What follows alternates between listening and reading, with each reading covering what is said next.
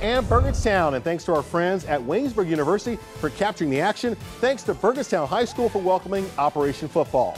Now it's Burgettstown on a fourth and one in the first quarter. Brad McLaughlin calls his own number and finds a little hole and goes 47 yards for the touchdown. Blue Devils up by seven.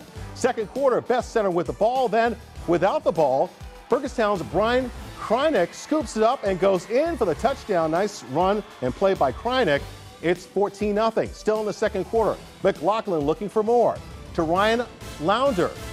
This play will cover 46 yards, and yes, forget the flag. It counts for a touchdown. Burgettstown pulling away up 21 0.